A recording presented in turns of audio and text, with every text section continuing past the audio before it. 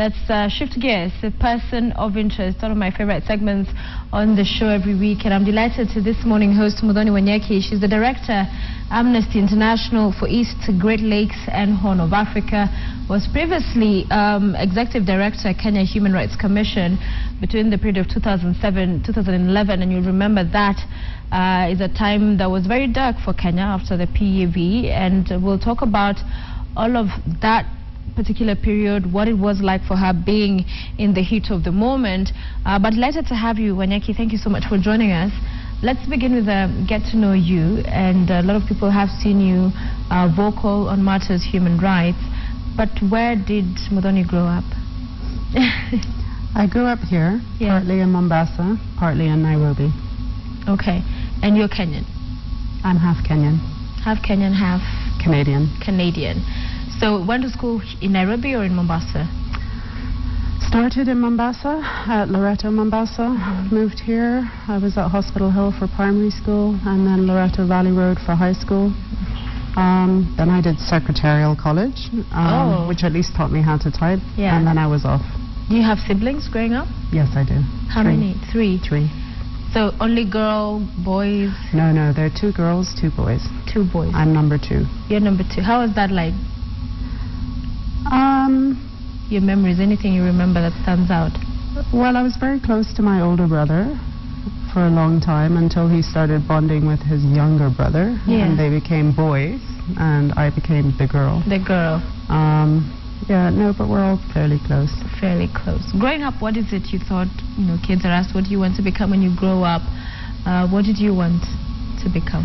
I had very strange desires. Don't judge. um, you know, here, I guess if you do well in math, science, you're really pushed in that direction. Mhm. So for a long time, I thought I would do something in that area. Um, but then I read a lot, and I started reading stuff about apartheid, stuff about Mahatma Gandhi, um, and I really felt stuff about the Holocaust and it was very shocking to me at that time. And then I started relating that to everything I saw around me in Kenya. hmm And yeah, somehow knew I wanted to be involved in changing that, but didn't know how. Didn't know how. So you mentioned you were good in math and science. Is it came naturally, or was it something you really put work into? Like you were decided, determined to be very good in school. You know, I think it'd be nice for all of us to believe the myths that we're sort of naturally gifted and talented, Yeah. but it's not true. It's Yeah. what you're exposed to, it's how you're taught, it's how your parents push you. I think socialization is such a huge part of growing up. Mm-hmm. Um, yeah, I think it's really the influence of the parents, the influence of the teachers I had, Yeah. um, and all, everyone pushed us to perform academically. So in college, what did you study, and where? In the end, I was desperate to get away from Kenya for a while. Um, Why? Just, you know, you're a teenager. You know, Kenya seems so small. I Mhm. mean, it's hard to imagine now, but in those days, you know, we weren't connected to the world. Nobody traveled as much as we do nowadays. Yeah. it felt very far. It felt like an outpost. Um, so I was desperate to sort of see the world. Mm. Um, and I applied to do a number of things. I applied to be know, pair in Paris. I applied to Wow. work on a kibbutz in Israel. I, finally, my mom was like, look, if you don't know what you're doing, just go to school, do an arts degree. You can move from an arts degree to anything. Mm. Um, so that's what I did. Arts degree, which one?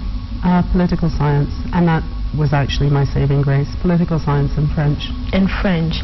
So how is it you've been able to use that now in, in, in your work? Well, political science is really about understanding the world, understanding power and understanding the lack of power, understanding how change happens. Um, and when I say it was sort of my saving grace, it really helped me understand Kenya and understand the society that I came from, what had made us what we were. At, in those days, we were Mhm. still all living under the Moi dictatorship.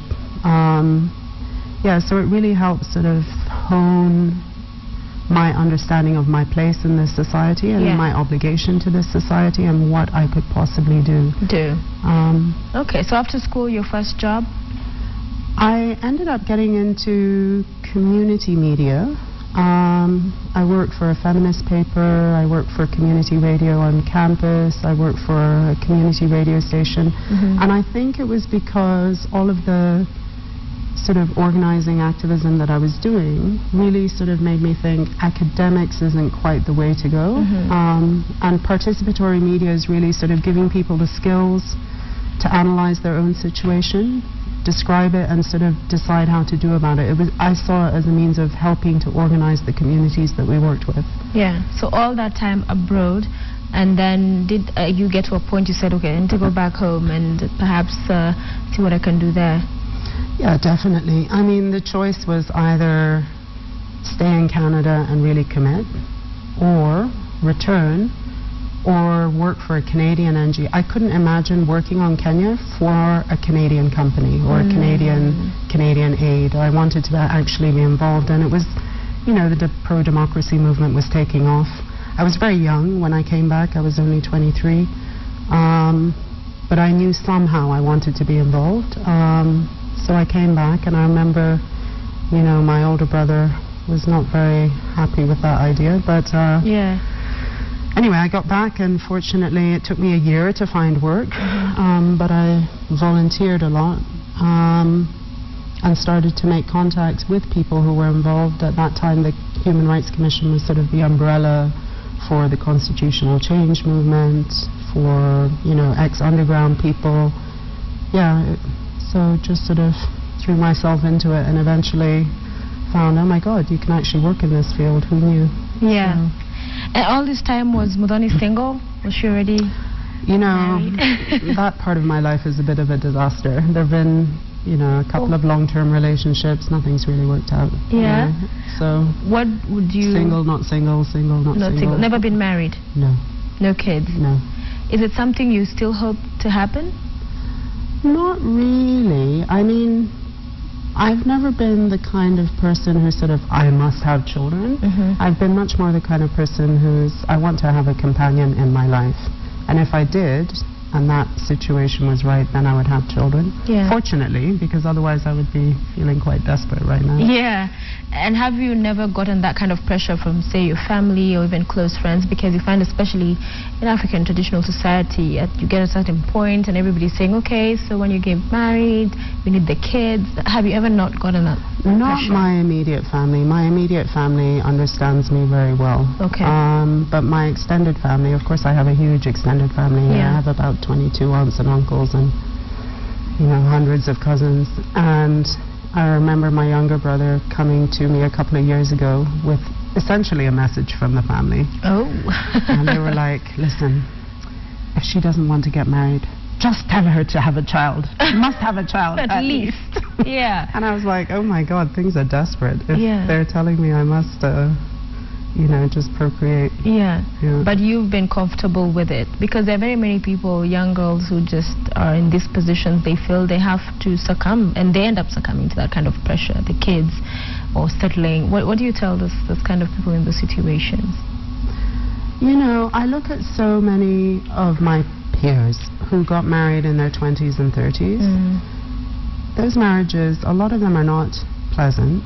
A lot of them have walked away from those marriages, either because of something extreme like abuse, or because of incompatibility or unhappiness. I can actually count the number of happy marriages where I really feel the couple is the best, they are, they're each other's best mm-hmm. friends, on one hand or less.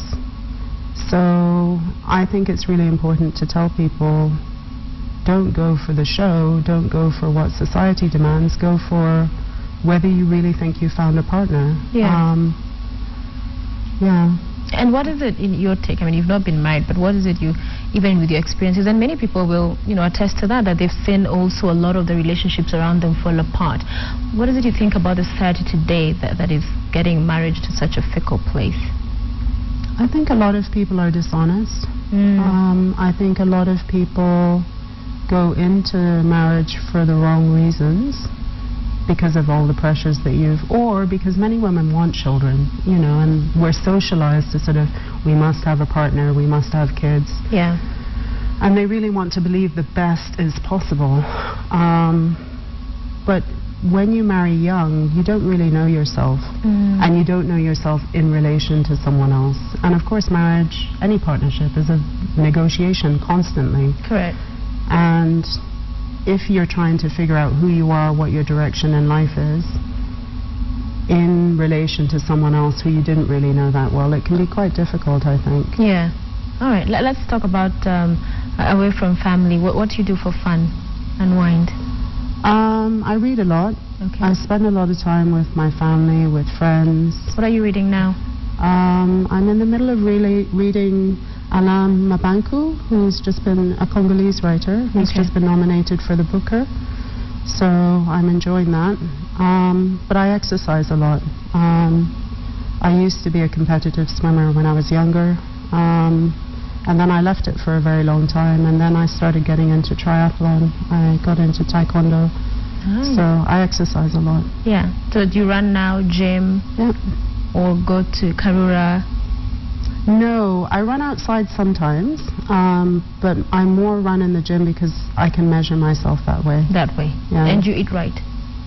Or are you one of those people that I, whatever? I eat right, but I love cheese and I love wine. And you love both wine. of which are my big Yeah. downfalls. Okay, But otherwise, red? I eat well. Yeah, Red wine? white. White. Okay. Well, next time we'll make sure after the show. It's a bit early. It's a well, we have you for an evening show. Um, let's uh, move on to Kenya Human Rights Commission 2007. You get into that, and Kenya was going into an election uh, at, at that time. Did you ever imagine signs that things could fall apart? No, I think all of us were sort of overly optimistic, right? Because we had gone through 2002, and that was the first electoral period where we hadn't seen sort of politically instigated violence before the election. Yeah. Um, we had gone through the referendum, nothing had happened. So, and we had, at the KHRC, we had monitors across the country, and we had done a pre election report on Kuresoi, and there was violence there before the election, but it seemed to be very localized and seemed to be confined to local political competition. Correct. So no one, we certainly did not anticipate That what happened. yeah. yeah. So you go, you go into the election, and the craziness in as far as of the announcement of uh, um, President Kibaki's win at the time, and then all hell breaks loose. What was happening? What was going on at K- KHCR? Well, we very quickly convened. I mean, the KHRC is part of a wider governance, legal, human rights community. Mm. We all convened fairly fast. Um, those that had been on holiday came back to Nairobi, and we began meeting under the National Commission. And, you know, in a crisis situation, everyone sort of contributes. There were lots of ordinary citizens as well, artists. Um, and mainly we were trying to get on top of A, what was happening with the election, and some of our members, some of our groups had been doing election observation per se. Um, and then because we understood even at that time something had gone wrong with the presidential vote um, and something had gone wrong with the elections, and we saw that as the trigger for the violence. And then we had, like I said, many of us had monitors across the country that were also feeding in information on what the patterns of violence w- were. And of course, you know, initially it seems like, oh my God, people are just going mad. But it became very clear very fast that there were actually three or four patterns of violence. And then we began to message around both our analysis of what had happened with the presidential vote and what we could see with patterns of violence. Yeah. And yeah, just started working. Um, and I think Kenyans are really lucky, to be honest. I mean, there was our grouping, which was much more the human rights grouping and much more about sort of accountability for the election, accountability for the violence. You had groups like, um, that was Kenyans for Peace with Truth and Justice, but you had another grouping, Concerned Citizens for Peace. And a lot of the things they did, I think we thought were unhelpful, but certainly they had among them experienced mediators um, who had worked all across the continent, who began the initial process of trying to get the parties to speak. Um, you had the Red Cross, which was just doing a phenomenal job of leading the humanitarian response, even though it didn't have capacities itself. I just feel we were really lucky compared to other countries where all of these sort of societal civic institutions are not there. Are not there. So almost eight years later, you've mentioned there, you know, has there been accountability for the election, accountability for the violence? In your opinion, has that happened now? No, neither on neither Even front. changes. Oh, let's begin with the election. Well, with the election, of course, the decision from the mediation was to refer everything to um, the Commission of Inquiry, the Independent Review Commission. They opted very deliberately, I think, for the broad brushstrokes of reform and not for accountability and not for determining what actually happened with people's votes and who actually won. Now, you can understand that, I guess. People felt, okay, an agreement's been reached, these parties are now in a coalition, are we going to open a can of worms if we sort of go back to actually figuring out who yeah, won? who won? Um, we disagreed with that. We felt it was extremely important for people to know exactly what had happened between the process of counting at the constituency level and tallying at the national level, because that's where the problem really sat. We lost out. Um, so, no, we never had accountability for the election. And on accountability for the violence, we had the Commission of Inquiry, which was very strong and which did opt for, you know, both individual, personal, criminal accountability as well as sort of broad brushstrokes of reform. Um, we've moved somewhat on some aspects of reform, but on criminal accountability, individual responsibility, state responsibility, we haven't seen anything. So the local tribunal um, angle did not work. No, and we pushed hard for it. We worked on the bill, we gave amendments, we lobbied Parliament. We really pushed. Yeah. Parliament made their decision. Um, so finally, after, you know, what was it, a year or so of puffing around, the ICC picks it up and. You know, I think initially we put a lot of hope into then the ICC since it seemed to be the only game in town. Um, and you can see how the cases have just unraveled before our very eyes. So you don't believe justice has been served? No. We've seen the president um, case terminated. You don't think that should have happened? Well, I think there are Do a you buy into Bensouda's argument that it's because the state did not cooperate that then I buy into the argument that there was a lack of state cooperation. I buy into the argument that there was a lot of witness tampering and intimidation. I mean, and the evidence base for that case was a, is quite different than the evidence base for the other case. You're talking about a very limited number of linkage witnesses from a very limited number of meetings. It's much easier to diminish that witness base. And if you don't have all the other forms of evidence around that, the, the phone calls, the bank records, et cetera, et cetera, you just can't make the case. But witness protection on whose, you know, whose responsibility is that?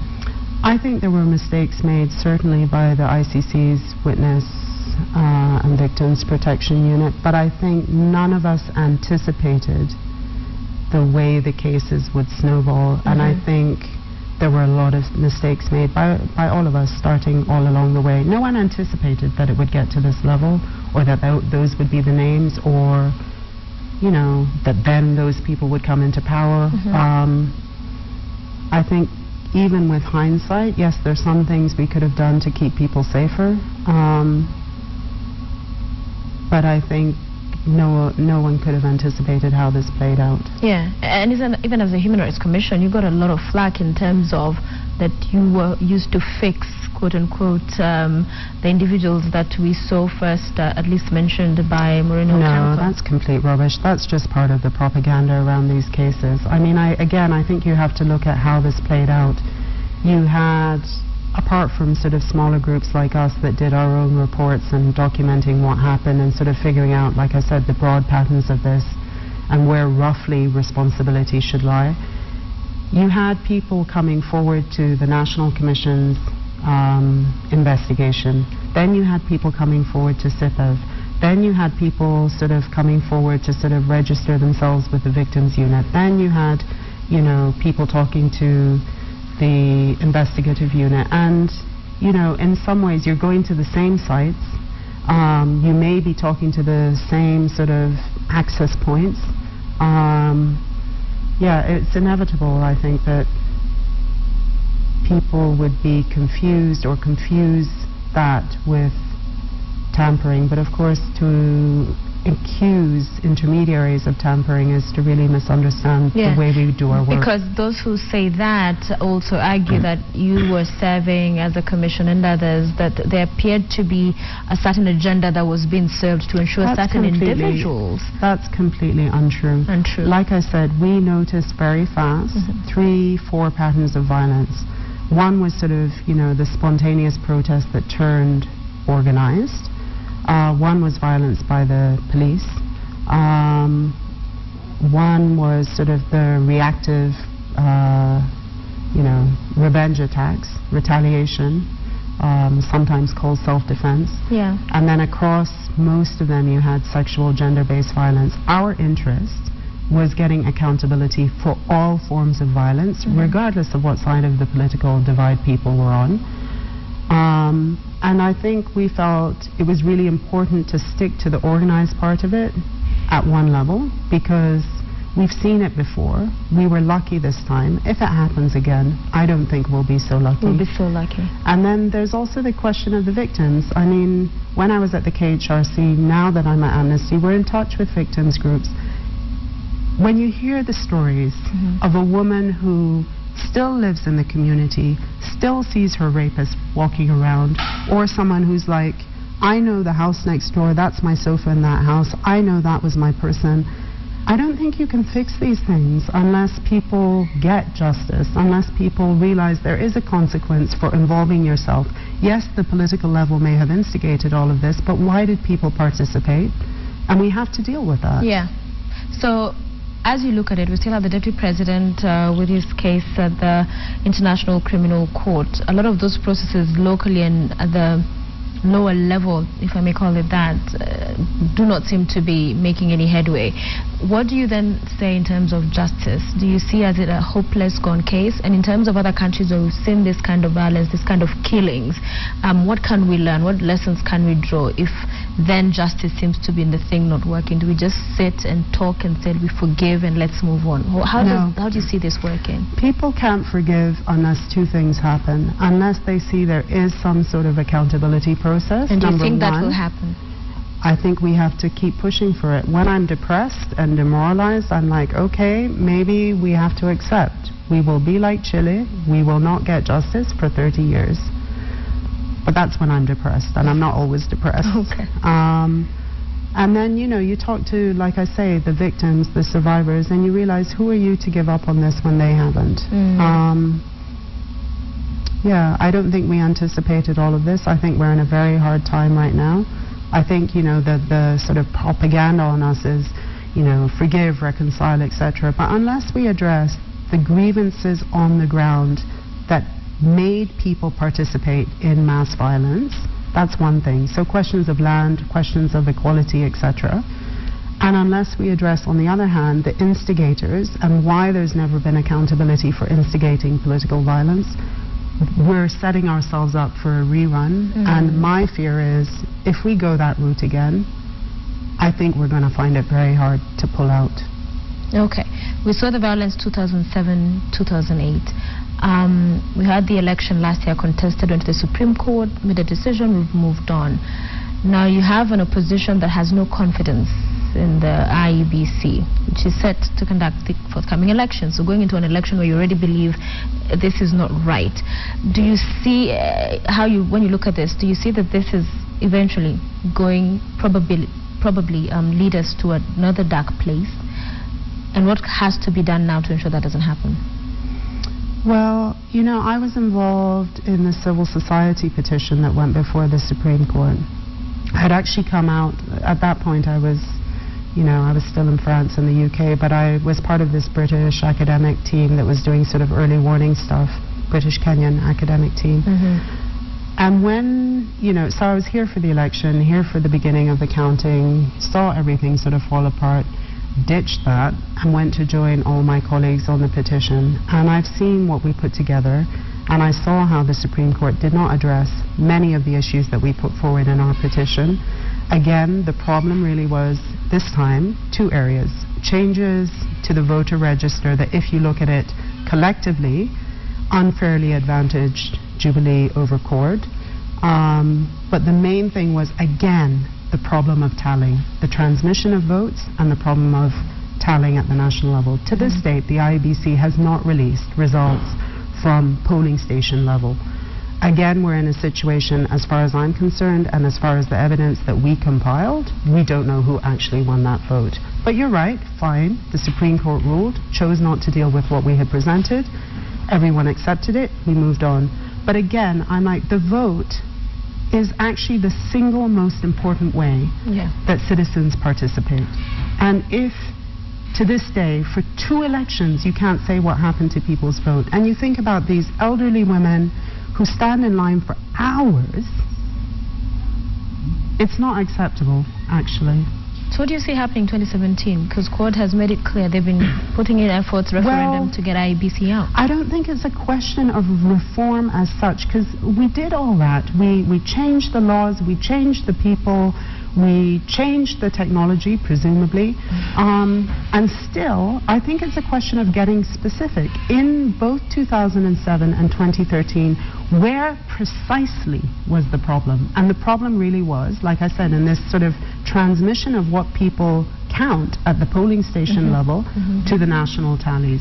If we don't fix that particular problem, as well as the problem of the voter register, and I think that's what we should hone in on, like not fall prey to the idea of, you know, broad brush of reform, let's change people again. People are compromisable. Uh, and I think our lesson after five years of reform is that it is really hard in a political culture like ours to get institutions to constrain people, especially because every time we hit the point of accountability, we're like, and of course, accountability is about constraining individual bad behavior. Correct. And if every time there's individual bad behavior and you're like, actually, we're just going to leave it, forget and move on, of course, people just get more and more emboldened. Mm. It's And it like a child. If you don't punish a child, and I'm not saying slap them or be violent, but you have to show children that there's consequences. And if they don't get consequences, they become crazy.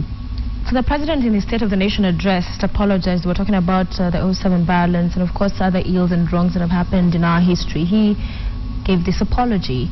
Um, what did you make of that? Does that help this go forward in as far as the wrongs that have happened, the massacres, the deaths, the killings? Does that help the country heal?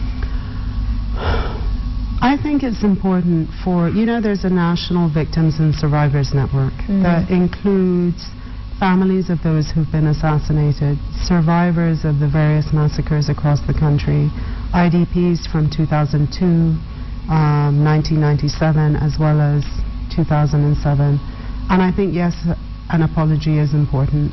Um, that said, you have to ask why there's been no movement yet on implementing the TJRC report and implementing, again, very specific recommendations within it. And, you know, a lot of the sort of categories of gross and systemic human rights violations that they looked at, that work, the investigative work had been done before. We've had many commissions of inquiry. Names are there. Has there been any follow-up? So an apology without follow-up, an apology without accountability, what does that mean actually to Yeah. victims and survivors? Then the other aspect of the State of the Nation address was he purported to sort of say, well, you know, as concerns the post-election violence, the DPP has said all the open case files from the period can't be prosecuted, and therefore we're not going that route. We're just going to go restorative justice, and he announced this fund. He has no business telling victims and survivors that those avenues are closed. Again, we're in touch with victims groups. All of them have told us if the police want to know exactly what I know about who raped me, about who stole my stuff, about who burnt my house, we can tell them. You can open up new files. And yes, time has passed. Yes, the evidence base is hard at this, this point in time, but I think we owe it to them to at least try. Yeah. So you see, because he threw the challenge back in as far as the TJRC report, and he described as processing of it back to the legislators. So is it also the leadership, the elected leaders that are also failing Kenyans in, as, in getting this? You know, it's a resolved? disingenuous answer. Jubilee is the majority in Parliament. He is theoretically the leader of his party. If he wanted Parliament to actually do something with that report, it would have been done. It would have been done already. So for you, not a Well, much no, I mean, of course, you can't lose up hope when when an avenue opens, you pursue it to the end. Um, I know certainly the Victims and Survivors Network is meeting on this. Um, most of our domestic partners are sort of trying to get ready. Okay, this fund's been announced. What does that mean? TJRC report might be implemented. What does it mean? Yes. People have been ready for a while with proposals on how to move forward. Okay. It's not like they're going to stand back and not seize the opportunity, but I think they're seizing the opportunity with their eyes very wide open. All right, then there's this press release yesterday. Let's uh, move on along because from that, the country now facing that real threat and danger from terrorism. We saw the Garissa attack just a few days back, and um, a lot has emerged since that uh, particular attack. And sure, due process on terrorism list is uh, this press release that came yesterday from uh, your organization. And one of the things you're talking about here is because we saw on the list that is linking organizations and individuals to Al Shabaab, Haki Africa, and uh, Muhuri. What's your concern there? Our concern is that Muslims for Human Rights, Muhuri, and Haki Africa have been partners of Amnesty since Amnesty set up. They were also their longtime peers when I worked within the domestic human rights community. I know their work. I know precisely what they do. Um, and they are at the forefront of documenting human rights violations committed in the course of counterterrorism. Uh, Muhuri also has done a lot of work, you know, prior to the new constitution on devolved funds, use of the devolved funds for service delivery and so on. So to see them feature on a list immediately shocks you, and you're like, immediately puts the entire list, um, the credibility of the entire list into question. And you start wondering, why would organizations that actually work on trying to deal with grievance and all of the tension at the coast and all of the exclusion and sort of targeting that Muslim communities feel, how on earth could they feature on a list like this? Um, yeah. So you feel the motive is what in putting them in that list? I think they're being punished for the work that they do because, of course, you know, there's been a long standing kind of disagreement, I guess, about approach on counterterrorism. And on the one hand, you can understand the frustration of the police. It's very hard um, to sort of prosecute in advance Yes. of something happening. Um, and they feel that, you know, when they're being challenged on behavior that is outside the boundaries of the Constitution and outside the boundaries of the law, that groups like Muhuri and Haki Africa are impeding their work rather than sort of making their work or, or trying to push for their work to be credible and to not have more blowback than necessary. So Haki Africa, Muhuri, you're saying their position would be that yes, even if this person is suspected of terrorism and the police on the other hand claim they may have this information and this person is to be detained, that their position is the uh, NGOs that there still needs to be due process. We should not brush over the law Of course just because be. we have we are fighting terror. Of course, there needs to be due process. People fought long and hard for that Constitution Mm-hmm. um, and for the Bill of Rights within it and for rule of law in this country. That's what people are pushing for. And whether we like it or not, even people suspected of terrible crimes have the right to a defense Mm-hmm. and have the right to due process and rule of law. Yeah. And our approach in the war on terror, how far should we trade off our freedom um, for that in terms of security? Because we've seen some of the laws that were challenged in court, you know, seemingly just trying to tighten some of these areas because of ensuring Kenyans are safe. So how do we balance that? That yes, on one hand, there's human rights, these our freedoms, but are these freedoms without a place where we come and say, okay, we, we need to have a chat? No, freedoms are absolute. Absolute. Um, and I think we have to look at it not just in a moral, ethical obligation sense. We have to look at it in terms of when you impede those freedoms and when you restrain those rights, also what are you creating? Um, and if you're creating among those who feel profiled, those who feel targeted, those who feel unfairly, um, you know, collectively punished by breaches in freedoms and breaches in rights, then you're creating more grievance and you're creating a blowback situation. You're actually exacerbating and you're removing those communities from a situation where they would feel confident and able to come forward with the kind of information that you need to actually deal with terrorism in the first place. Yeah. Do you get a sense that it's it's a lack of understanding how to approach this issue from the authorities that makes them then I just have this blanket sort of I don't think it's a lack of understanding. I think it's, you know, all of us are trained in different ways and have very different ideas around what it takes to approach this. Again, I come back to look at the frustration of the police, right? In any sort of ordinary crime, you know, you prosecute the crime afterwards and usually you use the evidence, the witnesses, the maybe the victim Mhm. to make the case.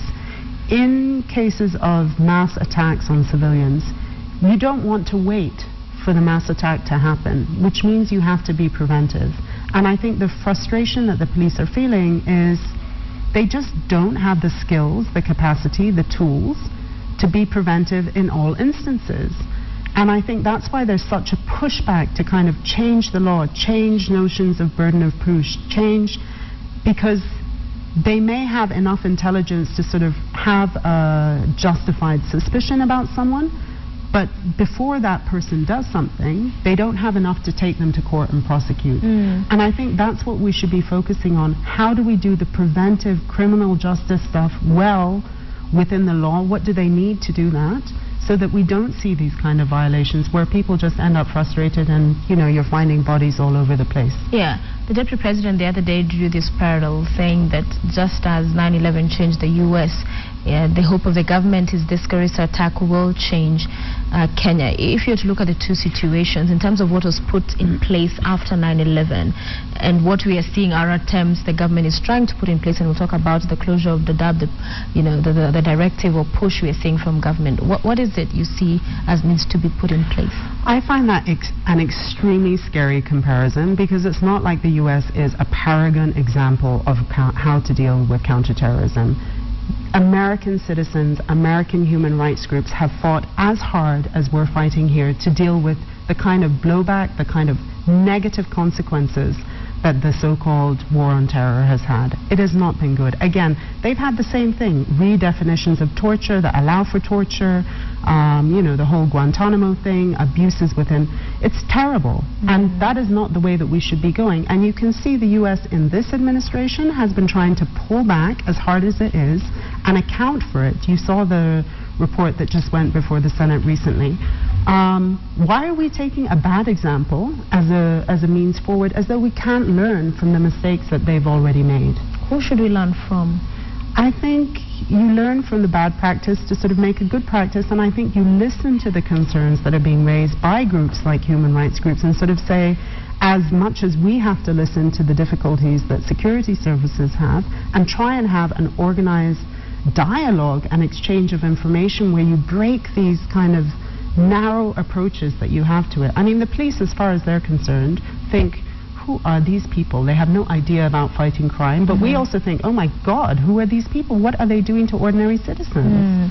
Because the authorities appear to have little room to maneuver, and hence some of these proposals and moves uh, we, we're seeing being made. So, so again, the question becomes: for you, you don't see it as secure Kenyans at all costs. We must No. remember the rule of law.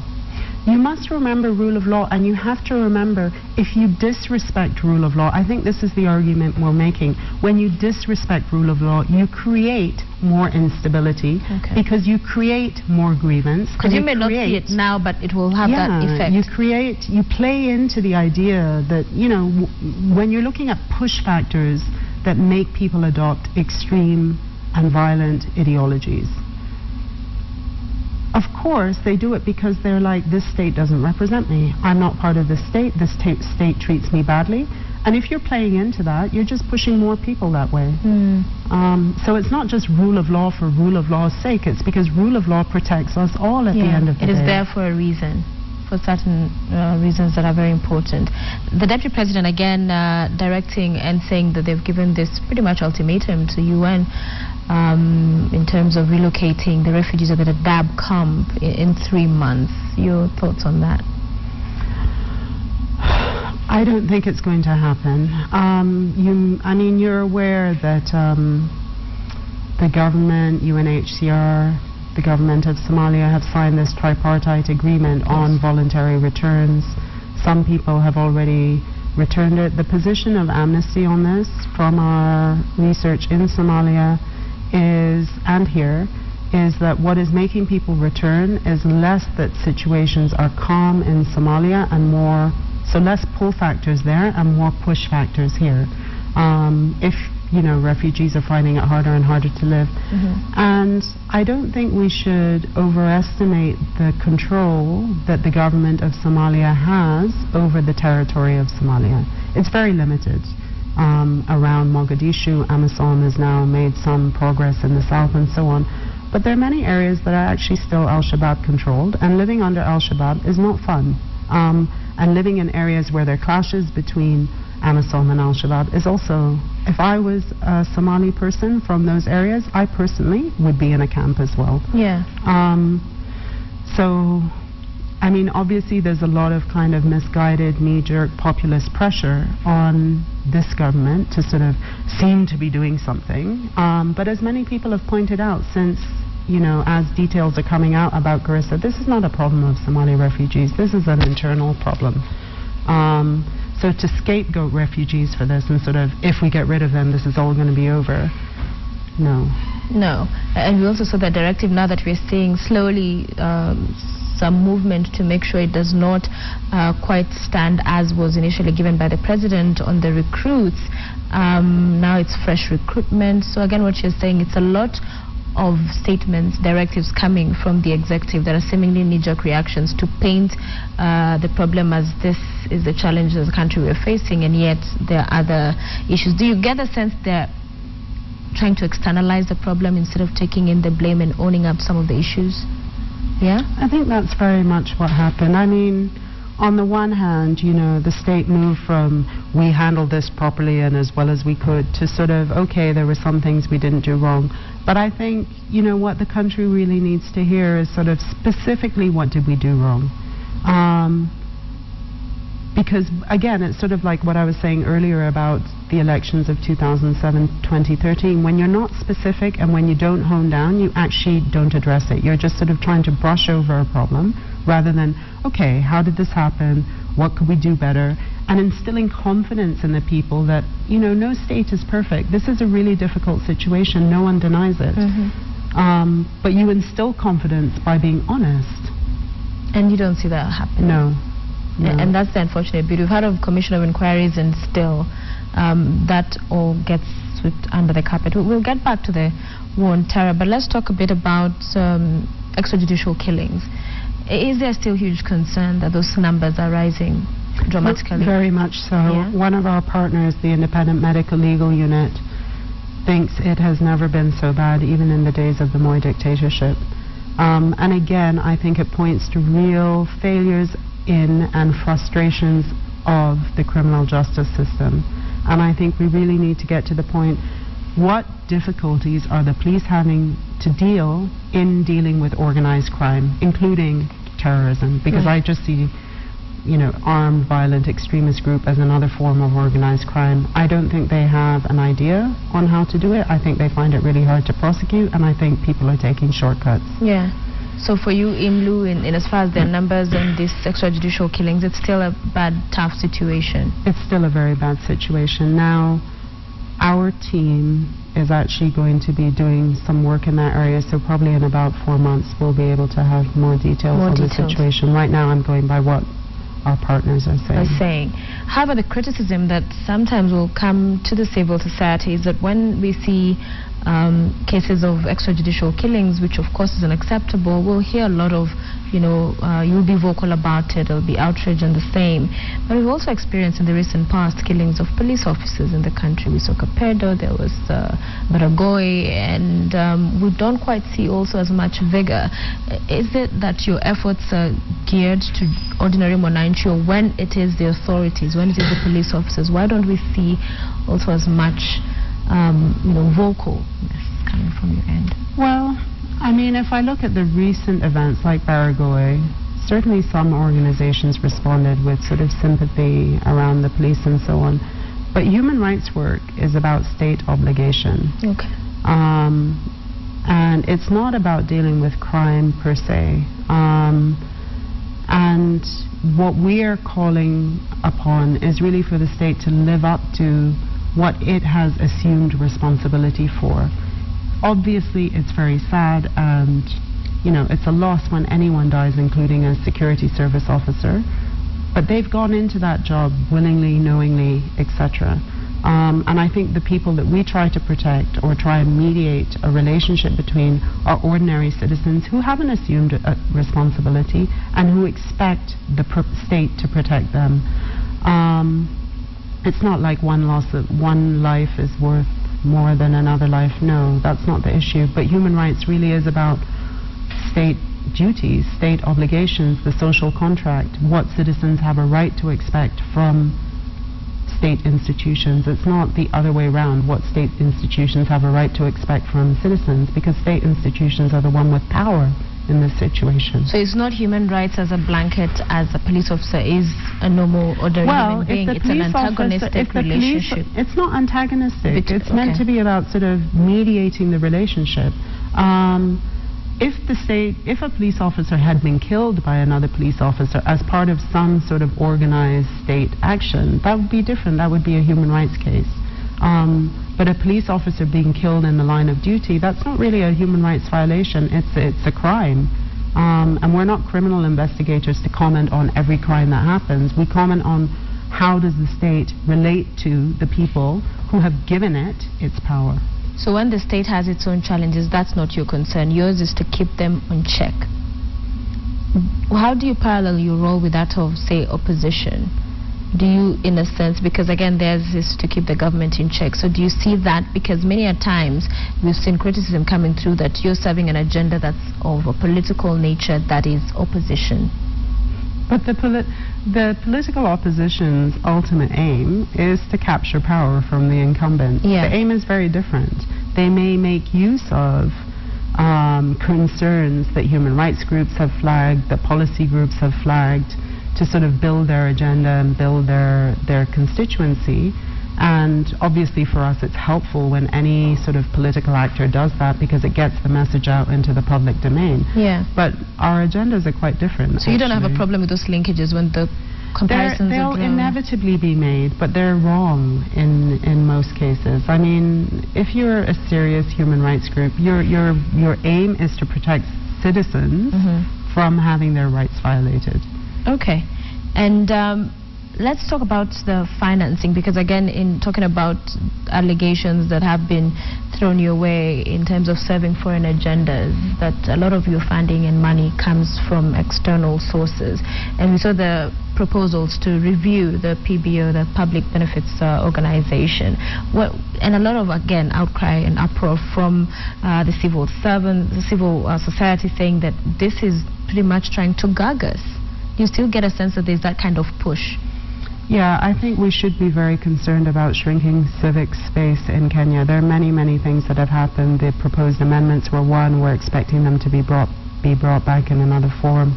The media things, um, the kind of public hostility um, on and very organized kind of social media response to civil society. This sort of thing with Muhuri and Haki Africa I think it's not a good time, basically, in the country. Mm. Um, I think there's a lot of resentment and resistance among certain parts of the executive and among certain parts of the security services around particularly civil society organizations that work on counterterrorism, um, that work on international justice, and that work on sort of rankings in some way um, of Kenya within sort of the global community.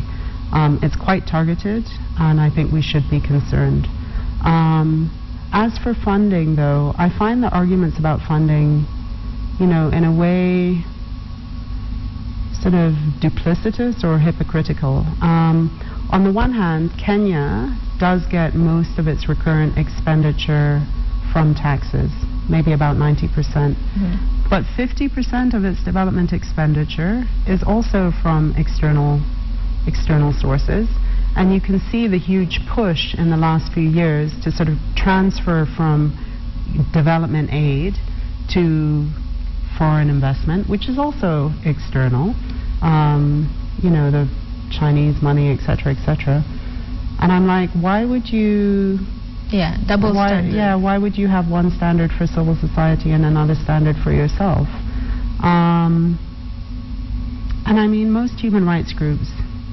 I mean, of course, there are always interests in any relationship. Um, and the question is, how do you negotiate those interests? Right. Um, yeah. So for you, it is there's no merit in the claim that there are organizations that are being used to fulfill, to push agendas of other countries. No, unless you're saying the government is also pushing the agenda of China because it's taking Chinese money, the Americans because it takes American money for counterterrorism. No, you negotiate. You have an interest on both sides. You negotiate it. Yeah. The vibrancy of civil society, there are those who look at it and say it's no longer what it was before. That we used to see more vibrant, participatory, you know, making significant um, input in society today. That now there's more of just a press statement there, you know, a press release here. Do you agree with that kind of analysis? Not really. Um, partly because I feel that civil society made a shift in 2002, thinking that we had had a tr- political transition to invest now in getting institutions right. So they put, began to put quite a lot of effort into legislation, policy, Mhm. um, et cetera, et cetera, institution building, really. Um, and it's been hard to sort of, for some, except maybe the governance, legal, human rights groups, to pull out and resume that role of, of playing watchdog um, and sort of, no, things aren't going right. Um, times have changed, and I think actually also the analysis is wrong. When you look at the time, the period that people refer to, the 90s and sort of the constitutional change movement, Right. I think civil soci- society now plays still the role it played then, which is what's the agenda? What, what's the substance that we need to be working on? Um, the difference between now and the 90s is we don't have a political opposition to pick up those messaging. And in fact, I think this is the only period in Kenya's history, even way back to the first Kenyatta regime, where we haven't had a very strong political articulation of the messages of progressives, of, you know, now what we call civil society and so on. And I think that's what's missing now. The opposition, well, we all know the state the opposition is in. It's, Well, how would you describe Yeah. it? The state of the opposition. I'm actually perplexed. You know, there are real thinkers in the political opposition, but the energy and the sort of ability to hold it together, the compromises they've made, the these events that keep happening, the whole Men in Black thing, you know, I feel part of the country is, is ready and waiting, you know, for something to mobilize them and something to get excited about. Um, and something to sort of, like I said, articulate the Mm. frustration that people are feeling, but Yeah. but they're stuck. I don't know if it's a leadership issue or a fatigue issue or um, an undermining issue and sort of being really demoralized by by the last election. I don't know. Okay. Finally, before we wind up, would you ever run for office, elected? No, no, no, no. That's When- not my thing. Never. no, it's, it's not my thing. Not your Yeah. thing. Muthoni Wanyeki, thank you so much for joining us, our person of interest today. She's the director, Amnesty International for East Great Lakes and Horn of Africa. Um, and this morning, great conversation we had then, uh, tackling a number of issues, and we'll be sampling some of your feedback that I've been seeing uh, trickling in on my Twitter at the end of the show.